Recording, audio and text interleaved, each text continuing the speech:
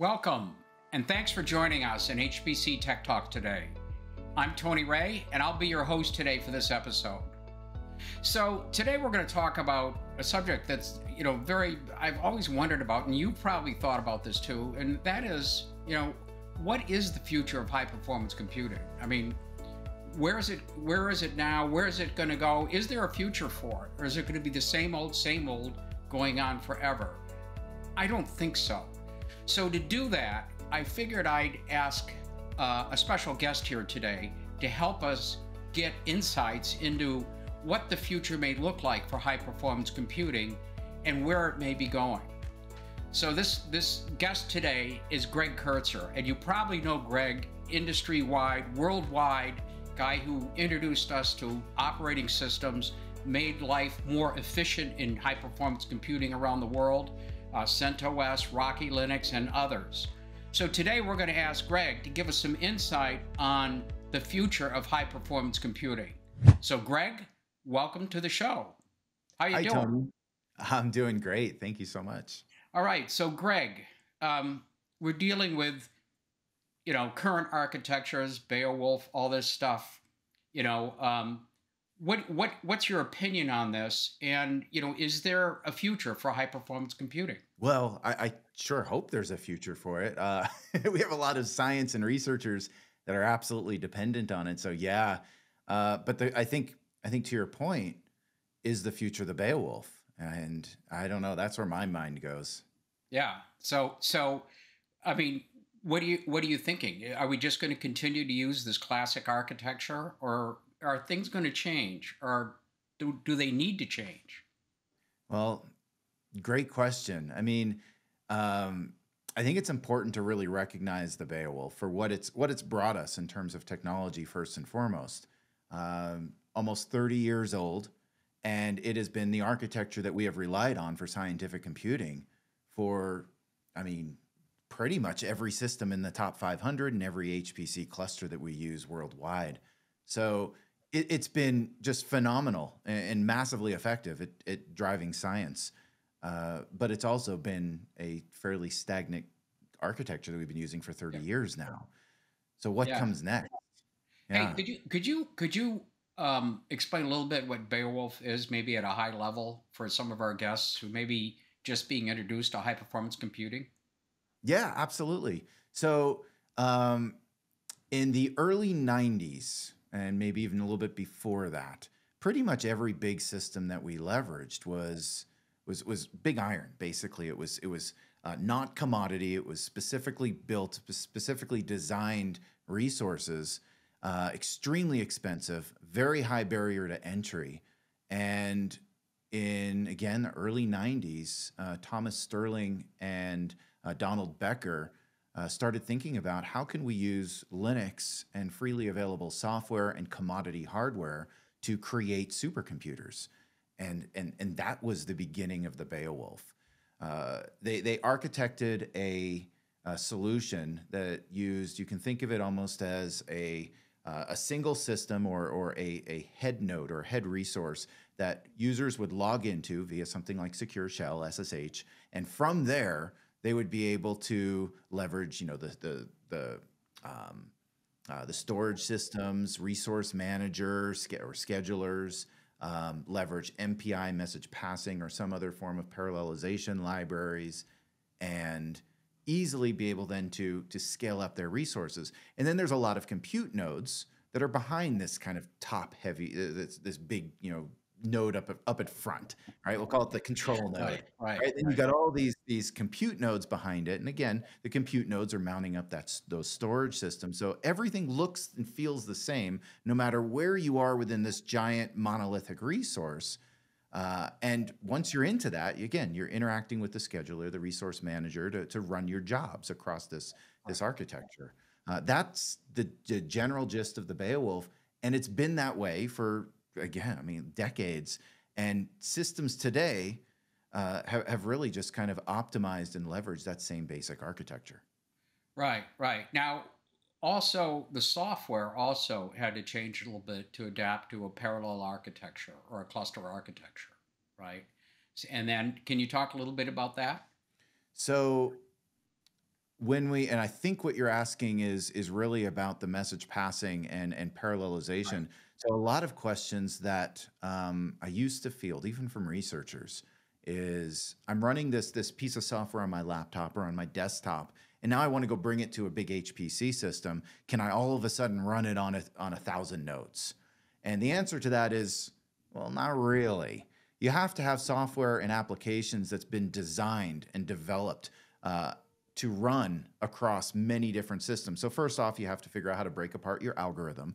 Once you've broken apart your algorithm into pieces, n number of pieces, because n may be different on one cluster than it is on another, uh, you then have to figure out, well, how are you going to do inter-process communication? How are you going to manage uh, the, the affinity of processes on one computer versus affinity of processes on another computer? And how are you going to pull all this together? And to do that, the message passing interface uh, specification was created. And we've used this interface or the specification uh, MPI now for, again, for a long time to take applications that might be really effective at running serially, meaning on a, on a single thread or a single process, and, and now be able to scale that up to where we can run it on uh, hundreds or even thousands of nodes. Right. And theoretically, running it on a thousand nodes, it completes a thousand times faster than with just one node. Theoretically. theoretically. Theoretically. Right. right. So, I, yeah. of course, many apps do not do that. But um, yeah, the theory is we wish everything would scale linearly, meaning if you double the amount of processors you're running on a particular algorithm, it doubles its performance. Um, it, as, as, you know, Tony, it, it, doesn't always work that way. As a right, matter of fact, right. um, and, and, it gets worse as you scale bigger typically. So, um, how to do that process, inter-process communication, especially uh, in between nodes, is so critical. And there's been so much research and, um, and, and hardware and optimizations that we've been leveraging to do that. Yeah. Okay. That's a great background. So now I'd like to move to a little bit different, move ahead a little bit. Could you tell us a little bit about your journey from CentOS to now?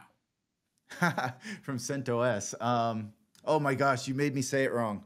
CentOS. CentOS. Sorry. Um, no, yeah, no, no. I, I got it's, that. It's funny. I, I used to have such a thing about this. Um, when, when when Lance first proposed the name to me, uh, CentOS, uh, it was you were all working in IRC, so I, I, saw it typed, and I said, you know, I really I really like this name, but you know, I got to say, I, I don't like you know having the OS kind of separate from Cent because it puts emphasis on the cent part, which yeah, right, know, most right. of us think cent being free or excuse me, um, not free. It's small, but not free. And um, you know, CentOS is free, so uh, I didn't like it. Uh, but of course, you know, I used to make a big deal about it. But then I grew up and uh, got a little bit more mature. But very rarely do I ever say CentOS, but just I mirrored you on that, so you got me. Sorry about that. Okay. Um, what what? So I go back to let's go back to the question. I think it was um, just, how, just yeah, how, post CentOS, post CentOS. Yeah. So, um, yeah. So how did you get to where you are now? That's what. Well, first the Earth cooled, and then the dinosaurs. Came. Sorry, uh, quote right, from the movie right. Airplane. If anyone, if anyone got that quote, awesome points for you. Um, how did we get to where we are now? So Let's see. I started life as a biochemist and really wanted to um, uh, move from doing wet labbing to more theory work and more genomics, et cetera. And that's where I started getting introduced into computers um, and, and, specifically open source and Linux. And from there, moved into uh, high performance computing, where I was able to help not only the, the, the biologists, but scientists at large, joined Department of Energy, uh, created a bunch of open source projects. Warewulf was the first, I think, big one that I created, big project. And, and, and what what was Warewulf for everybody? Uh, Warewulf was a cluster man, or is still alive. Warewulf is a cluster yeah. management uh, solution, uh, specifically at solving the problem of how do we scale the time of the system administrators and do operating system management and imaging for clusters uh, very efficiently. So uh, it came to be because I was our I, I joined Berkeley Lab. I was, I was asked to build some clusters, and I'm like, I'd love to, but I'm kind of busy. Like I have a lot of other work I need to do. uh, you know, you're going to throw 100 or 200 more systems at me. Uh, that's a lot of work. So I wanted to figure out how to do it more effectively, and um, Warewulf was born from that. Uh, to this day, it's still uh, it's still alive and kicking and, and doing very well. And the project is um, one of the one of the foundation pieces of OpenHPC, among others. And uh, so so Warewulf is out there. So I created Warewulf in 2001. In 2002, 2003, I had an idea of um, creating an operating system that was community based but RPM focused or RPM um, uh, built around the, the notion of RPM, the packaging format RPM. And um, that was originally called Chaos Linux. Um, from Chaos Linux, CentOS was born.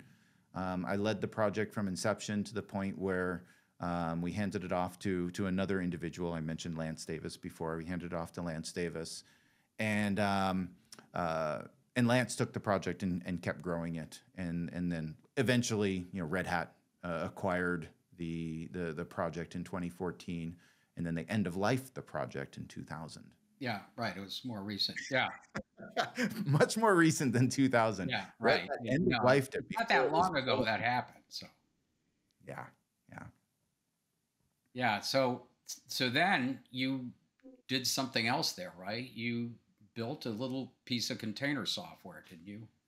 Yeah, so that was that's an interesting story as well. So um, in about 2014, 2015, uh, containers were all the rage in enterprise, and uh, Docker came to be, and containers were taking over. Like on the enterprise side, I mean, you couldn't go to a conference, you couldn't go to a discussion and have somebody not bring up containers. It was just a matter of time before the notion of containers came into high performance computing, and researchers and scientists started understanding how to use containers and how to leverage containers for their for their research and and ease kind of the deployment and uh, reproducibility of their work.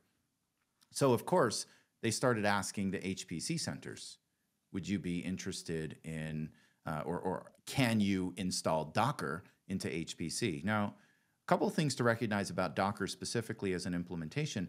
It was designed to run services as root, microservices, at least initially. This is the rub. Go ahead. This is good. and um, on an HPC platform, we may have, you know, I kind of described the base architecture of the Beowulf before. You may have, you know, tens or hundreds or even thousands of users logged into this research resource at any given point, and none of them should ever have root privilege or root capabilities on any of the compute resources, any of the nodes, or really anything even on that that network. And so, can you yeah. explain why that why that is for our, our viewers? Yeah. So the way that we typically do security and high performance computing, and and the Beowulf in general, again, we're leveraging POSIX security, which basically means we're using Unix security. So a user logs in as themselves, so they have a particular UID and that UID is an unprivileged UID. They don't have access to make system changes. Uh, so when they log in, they can they can operate as a user, but not as an administrator or as a super user. So we rely on that um, that facet for a lot of the internal security of an HPC system uh, quite dramatically. So everything from from files to data to what what can they edit, what can they change, what can they see, um, et cetera. So if we were to go and run a container system that by definition would allow them to escalate their privileges as part of that and then run applications and run tools that could uh, very easily affect that host system, uh, that's a security breach in, in our mind. So we wanted to we wanted to implement containers, but the container system that everybody's been using and everybody's been working with would pose a security issue uh, in, a, in a traditional high performance computing or Beowulf architecture. Uh, the problem of doing this was was very was felt very far and wide. Um, this became one of the major uh, conversation points within high performance computing and system administrators and centers everywhere is how the heck do we support containers? Uh, most people were thinking of it from how do we do it with Docker because that was the tool set that everybody was was familiar right. with in enterprise. I looked at it from a different perspective, which just is what problem are we really trying to solve? And the problem we're trying to solve is scientists and researchers have put these containers into Docker Hub or into you know a, a container repository or registry, and they want to run inside of that environment in an HPC system. Well, if you if you focus the problem on exactly what they're trying to solve, all of a sudden it's not so it's not so scary. And uh, so I created a system called Singularity that that did this, and it did it very very well. Um, within about six months of the first release of Singularity, uh, it was installed on pretty much 90% of every system worldwide that HPC system worldwide that ran containers, which was a very large percentage of all HPC systems. So Singularity just took off and it massively um, just changed how scientists and researchers are thinking about applications. They're thinking about reproducibility and they're thinking about trust and security and supply chain. Singularity dramatically changed that entire landscape. Right. So, so the administrators can get some sleep at night, right? It's it is a matter of fact on several reasons because one is it it increased the security um, uh, scope on the systems. Like it made systems, it made applications more secure. Like system administrators wanted the users to run inside of containers because they couldn't do as much. It, it limited what they can do uh, more than it than it escalated what they can do. And so there's that, but there's also now the application side. We can now allow scientists and researchers to use containers to develop their own environments, their own application environment. So if a, if a scientist said, I need to run Debian or Ubuntu because my application already works on that, or a vendor said, you have to run on SUSE or Red Hat Enterprise Linux, or or something else or a particular version. Now all of a sudden with containers we can we can meet those needs and the system administrators and the user services consultants don't actually even have to do that. We can now put the onus of the containerization back on the researchers and scientists who actually wanted to do that. So it made life better for everybody. Yeah. That sounds yeah. cliche. Okay so now let's fast forward to today all right? And what there, there's something fuzzy in the future here, and why don't we why don't we talk a little bit about that? Because I, I, think this is a very interesting uh, uh, topic for our our viewers to see and understand about maybe the, a little glimpse of what the future about high performance computing is.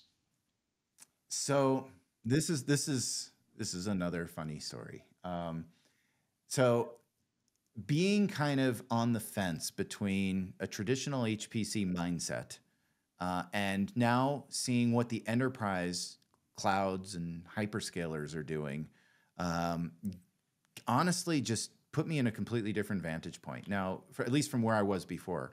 Where I was before was I did traditional high performance computing, I did the Beowulf, and everything can be solved with that architecture. And what enterprise and cloud and hyperscalers are doing has nothing to do with what we're doing. We're doing this and we're great at it. We know how to do it and it's proven. We don't need to we don't need to bother ourselves with that. And and this this came across in many different facets including cloud. Like uh, I, I can't, you know, my management for for decade and a half kept saying, you know, we have to figure out how to run HPC and leverage cloud. No, we don't. this works just fine. We don't need to do that. And um, and so it was always a discussion. It was always an argument. But part of that really had to do with this base architecture.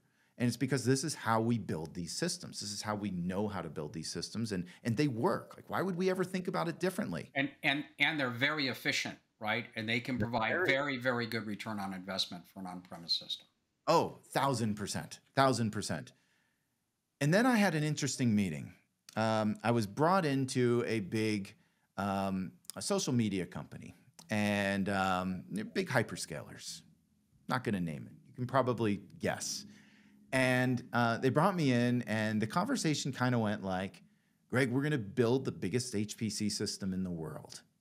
And my response that was, wow, okay, like, what are you thinking? What, what are you going to build? And they described to me an architecture that, that honestly I've never considered because I'm coming at this from a traditional HPC perspective. They're coming at it from a, a hyperscaler perspective.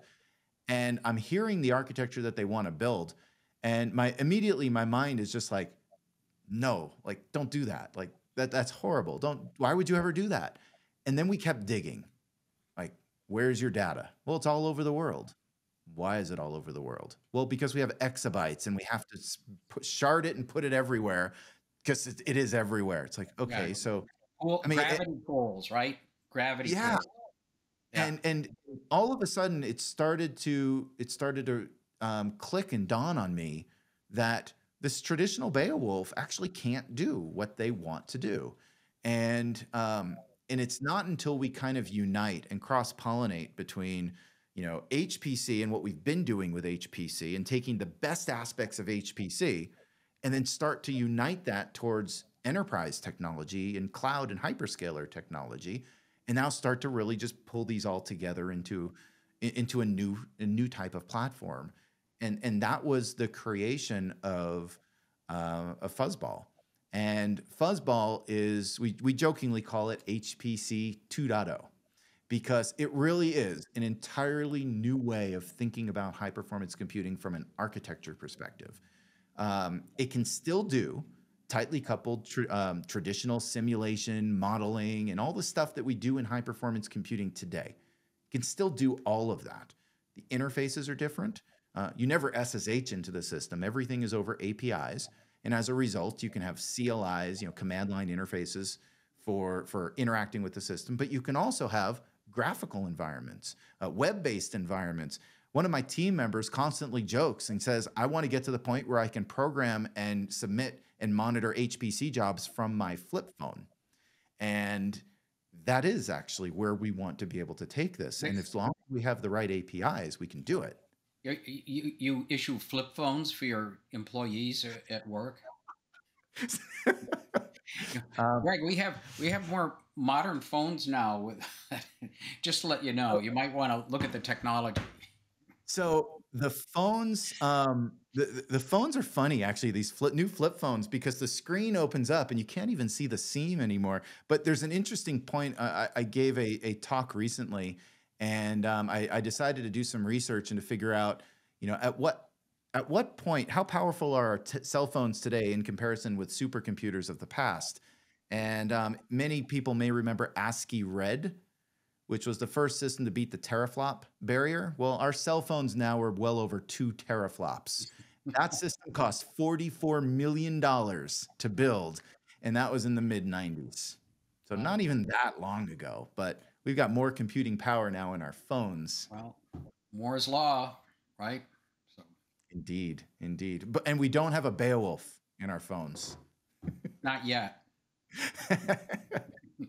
well, probably not. So, but okay. So, uh, outside of the flip phones and the regular phones, so the uh, so what's tell us more about Fuzzball and the architecture and why why it's so good and why it's two HPC 2.0.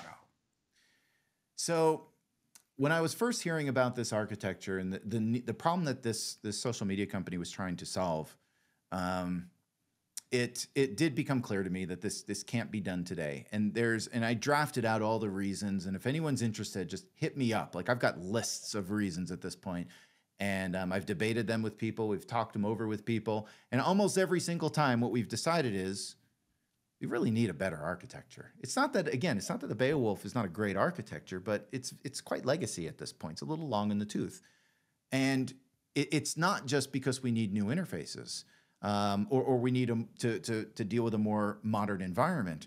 It's because our, our workflows are changing, and the types of science and the types of ways that we're approaching science is changing. It's growing. It's becoming more diverse. It's becoming, uh, you know, much wider. We used to call this the long tail of science, which was, you know, the the the main kind of bell curve of science was all of those tightly coupled traditional HPC MPI programs, and and that was what we built these giant systems for. But now what we're seeing is, you know, this long tail of other types of other types of computational work is now actually starting to become the majority. It's no longer the minority.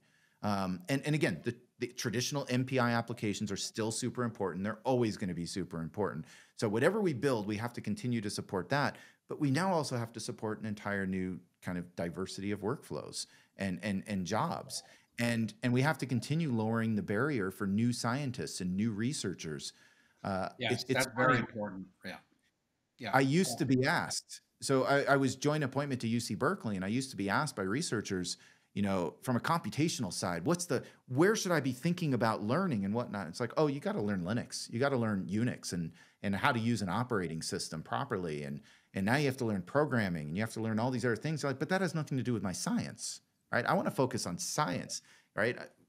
This is this is my area that I'm I, I've been training for so long. Now you're telling me I have to go take an intro course on Linux, and what we really need to do to move forward is to start um, increasing that, um, or I should rather decreasing the barrier to entry. And we're already seeing it happen, right? Jupyter Hub and Jupyter Notebooks is a prime example of this. And we're seeing Jupyter Notebooks even, you know, you know, many years ago at this point, um, have been considered one of the standard ways of classroom teaching. So everybody just gets access to a notebook and, and they're interfacing with a very interactive kind of development environment um, through Jupyter. Uh, that just really demonstrates, you know, things are changing. And if we in high performance computing aren't embracing some of these changes and, and moving forward with it, quite honestly, we're going to be left behind. And that, that's, you know, I, I spent so many years in high performance computing and supporting science I don't want to be left behind. I don't want the science to suffer because we couldn't embrace new technologies and new ideas and new ways of thinking. We have to be looking forward. We have to be figuring out how do we become more effective over time? How do we become um, uh, smarter by lowering the barrier to entry, by creating systems that have better interfaces and um, and are more efficient and more capable in terms of using additional resources. So um, cloud is an example of that. So, what does Fuzzball do for me as a researcher? What is it? What is it? How does it enable, and how is it? It I think it's a little disruptive too. So, what does it? What does it do? I mean, what does it tie together? How does it tie together resources, and how does it make it easier for people to use so, HPC? To answer that, I'm gonna I'm gonna back up a little bit. Um, the user, a basic user environment or a, a, a user manual for an HPC system, right? You start off, you you SSH into the system. Once you're there, you you you look at what the system looks like. You look at your compilers. You you you you go download your source code. You figure out how to compile your source code, usually modifying make files to figure out how to compile the source code properly for that environment um, taking into consideration, you know, whether it's GPUs, whether it's uh, what kind of interconnect you have, what kind of environment, what kind of MPI. So you have to now build your applications. You have to then download your your data that you want to test, um, put it in the right storage systems, make sure everything's landing in the right place, and then figure out all the queues on the resource manager that are you're allowed to, to submit to. Submit to the right queues. Wait around for a while. See if it see if it the job runs successfully, and if it does, you then look to see if your data looks good. And if it does, you're copying your data now off of the system to go do something else with it. I'm That's, tired, Greg. I'm tired after that. That's what we've been doing for 30 plus years. Right, right, right. That's, I mean, every researcher, every person who comes into a high performance computing system, that's what they do. So, what we're what we thought about with Fuzzball is how do we completely change this? How do we lower that to anybody can do this? So we started off with, well, let's dump SSH. All right, let's let's go everything over APIs. Now let's put interfaces in front of these APIs that can lower the barrier so far to the point where somebody's logging in via a website or or you know using using a credential from you know OAuth or or OpenID or whatever, right? So they have they they log in. Once they're logged in, they can go either develop a workflow or use a pre-existing template workflow that somebody else already created, modify that, or just fill in the templates, like fill in the input data, the output data, and what do you want to do for your science, and then go just hit submit.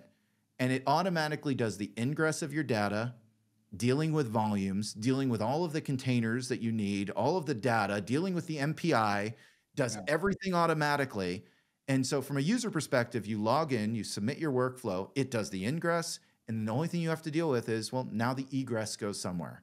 And, and that, and this is true no matter where the resources are.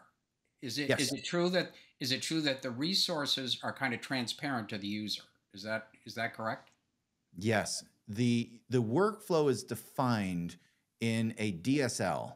Um, and that DSL is an acyclic graph that basically says, you know, here's my starting point, and I, I can have a workflow that's just, you know, kind of one one job after the next, or I can have jobs that branch off, do diamond patterns, come back together, or just tree and whatnot. And at the end of it all, the system will automatically again egress your data back out of it. So in the DSL, you can specify the containers, you can specify um, the architectures, the microarchitectures, if you need GPUs, if you want InfiniBand, um, all of these different types of things. Eventually, we want to get to the point where we're just querying the container. So when we see the container, we can say, ah, what's inside that container? Let's make sure we're matching that up properly with the hardware. So if that container is optimized for a GPU, let's make sure we're, we're landing it on the proper GPU. And that, um, and that container is a singularity container, right? It, it could be. Uh, it could be Singularity, Apptainer container, but it can also be just a standard Docker or OCI container. Yeah. It is completely neutral with, with regards to whatever kind of containers you want to run. All right. Wow. Making HPC easier to use and enabling more research and facilitating it. That's a pretty good story, Greg. So and then I guess cloud. Oh, sorry, yeah. Tony, didn't interrupt, but cloud piece of this Ooh. is huge. All right. So let's hear a little bit on the cloud. You got you got something to say on that? Yeah. So I feel as though, and people are free to argue with this if you wish, but I feel as though one of the barriers to limitations in terms of HPC running in the cloud is our existing architecture. There's a few different ways that we've approached it. Uh, one of which is, um, you know, we've we've built Beowulfs in the cloud. Like we'll actually go get a bunch of instances and we go and literally build right, that right. Beowulf. You just map it up. Right. Right. Yeah, which which definitely works, but then you're still doing all of that SSH compiling, you know, checking, you know, storage system management, data management. You're just now doing it in a cloud system instead of a physical system. Like nothing's really changed uh, aside from that. Um, there's also ways that we've integrated cloud with with resource managers. Like resource managers on an on-prem system can say, well, when we need burst capabilities, we can go spin up resources up in the cloud and we'll go run it there. Yeah, that that that works in theory pretty well.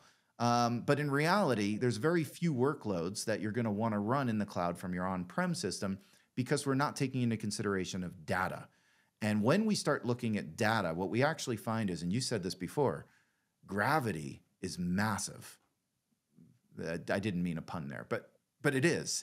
Like if you've got a lot of data, you want the jobs and workflows to go to that data. You don't want to move that data to another system. So really what this becomes is we have to be thinking about this from a federated space. And if we have data that's on-prem, we want the workflows to kind of have an affinity to go run on-prem. But if we've got data already up in the cloud, or if the data data does not have much gravity, and the data security policy allows for that job to run up in the cloud, well, maybe it makes sense to run it up in the cloud. Now it's really a resource and cost question. Do we want to run it in the cloud? And and that's that's another whole facet of what we've been building into Fuzzball to not only create clusters, but to manage clusters of clusters and to do orchestration and meta orchestration um, of right. all of these sorts of workflows. Boy, this is great. Now, for the, the viewers watching the show, um, how do they get more information from you on or from what you're doing about uh, Fuzzball? Well, the easiest way, go to our over, to our website. We've got some information over there. It's ciq.com. And from there, you can also contact us, reach out to us. Um, you're going to see more news coming on Fuzzball here very shortly. And um, yeah, we're happy to show it to you. We're happy to demo it. We're happy to give you access to it. Just let us know. All right. Well, Greg, thank you very much for sharing the future of high performance computing 2.0 with us today. Really appreciate it. Uh, that was Tony, a fantastic uh, journey you gave us and everything. Really enjoyed it. Tony, it's always a pleasure. Thank you. All right. Thank you. And thank you all for viewing HPC Tech Talks today. Uh, if you like the show and like to see more, please click and subscribe and we'll give you updates on future shows. We've got a lot of stuff planned and a lot of interesting interviews coming. So thank you very much for viewing us today and hope to see you soon.